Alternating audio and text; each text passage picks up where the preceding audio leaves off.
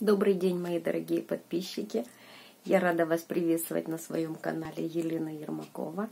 И э, хочу сообщить вам о том, что я опять возобновляю свои прямые трансляции э, в нашей рубрике «Новости». Э, и призываю вас всех э, к обсуждению. Рассказывайте, делитесь своими новостями, делитесь тем, что вы узнали нового за сегодняшний день.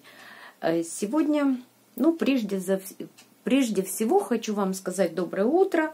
Все проснулись, умыли, зубки почистили. У нас дуже холодно. Начинаем, прежде всего, начинаем свой репортаж, назовем его так, начинаем с того, что расскажем о погоде. Вот этот циклон, который образовался над Балтийским морем. На, пришел вчера туда, ближе к вечеру, пришел к нам в Днепропетровск. Очень холодно, поэтому я сегодня вооружилась спортивным костюмом, видите, и э, таким образом вот и пришла на работу и работаю. Похолодало, похолодало не намного, похолодало буквально на пару дней, дальше опять к нам придет лето. Сейчас такое впечатление, как вроде бы э, осень. Вот. Но у природы нет плохой погоды, поэтому, поэтому будем радоваться тому, что нет такой жары. Ну и прежде всего хочу вам рассказать о том, что интересного я прочитала. Первое. В Исландии призвали объединиться против КНР и России. Вот такое вот э, это, Широков сказал, зачем Спартаку брать игроков из Уфы. Вот. И хотелось бы вам прочитать сегодня лунный гороскоп на 14, сегодня 14 июля, 14 июля 2020 год. Я вам хочу прочитать лунный гороскоп на сегодня, на 14 июля 2020 года.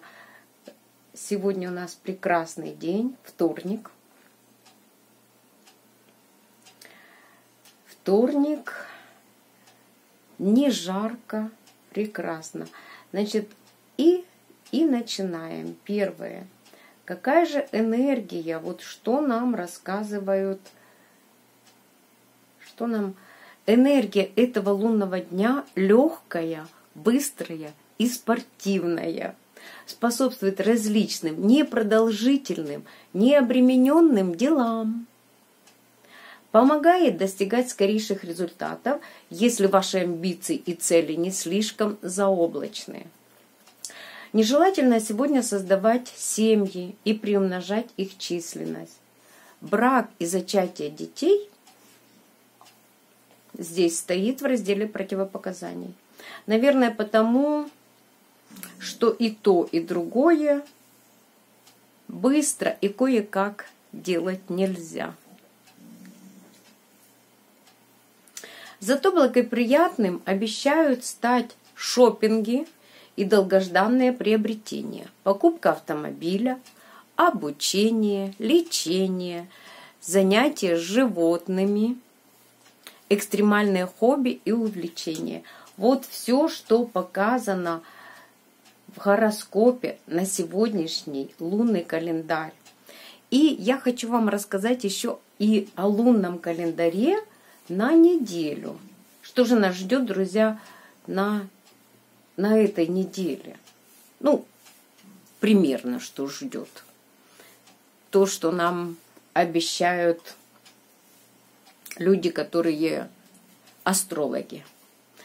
Значит, Итого, лунный календарь на неделю с 13 по 19 июля.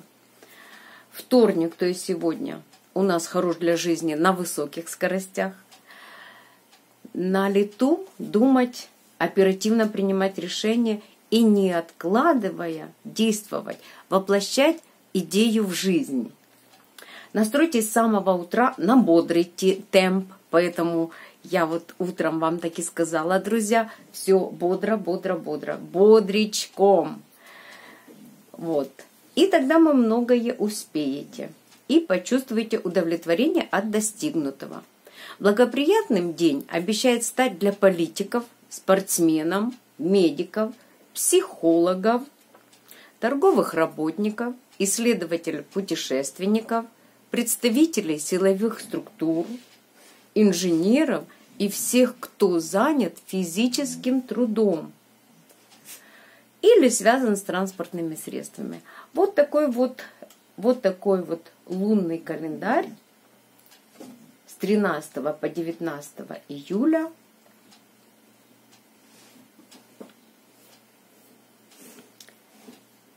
хороший. Хороший такой вот интенсивный сегодня у нас должен быть день. И при, природа благоприятствует этому, то, что э, нет жары, это замечательно. Итак,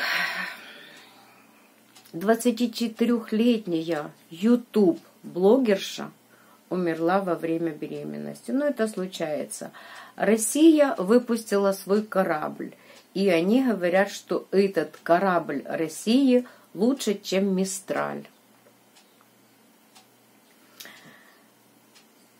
Дженнифер Энистон станет крестной матерью дочери Кетти.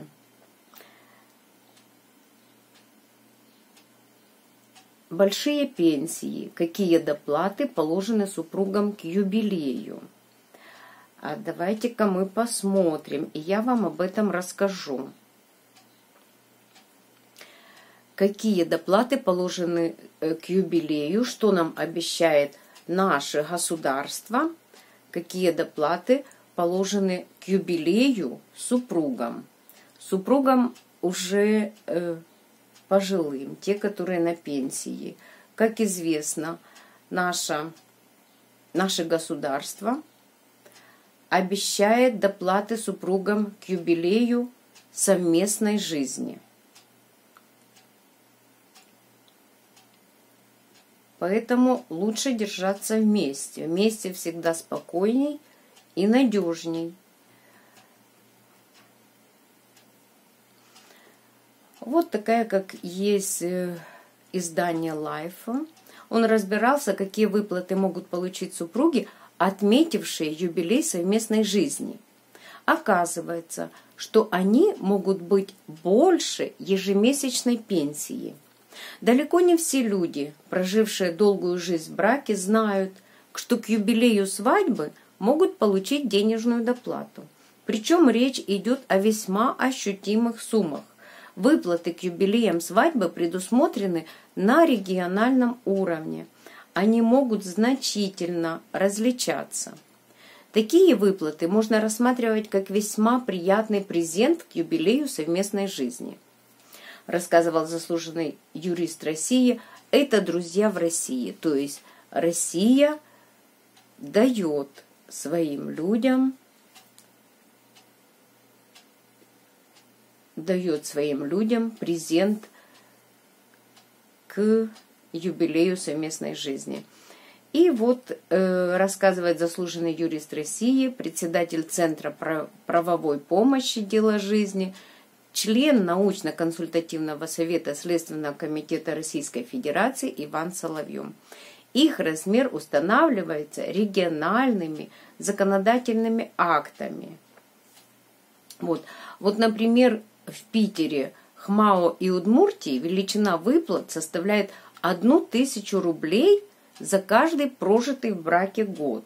Таким образом, за 50 лет совместной жизни на юбилей в России люди могут получить 50 тысяч рублей. И э, так как рассказывают российские политики, что в некоторых регионах для получения выплаты существуют дополнительные требования – Например, пенсия одного из супругов должна быть не выше 2,5% пенсии другого, и они не должны быть официально трудоустроены. Ну, как бы там ни было, если супруги уже на пенсии и прожили совместно в браке более 50 лет, поэтому это им очень, очень хорошая будет доплата. Может быть, когда-то и наше правительство – к этому подойдет. Ну, а э, что касается нашей жизни, друзья, прежде всего, конечно, хотелось бы жить в чистой экологической стране. Наша Украина очень чистая, очень прекрасная и, для, и комфортная для, для жизни людей страна, но тем не менее, что многие наши предприятия загрязняют и выбросами, и истоками.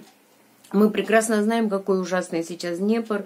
В Днепре купаться невозможно. И все об этом замечательно знаем, что туда сбрасывают э, свои стоки, все, кому не лень. Но если бы было, э, был, были нар, нормальные экологические службы у нас на уровне государства, э, они вроде бы как есть, зарплату получают, но работать не работают тогда бы этих стоков бы, конечно, не было, и об этом бы никто не говорил, и мы бы спокойно с вами купались в Днепре.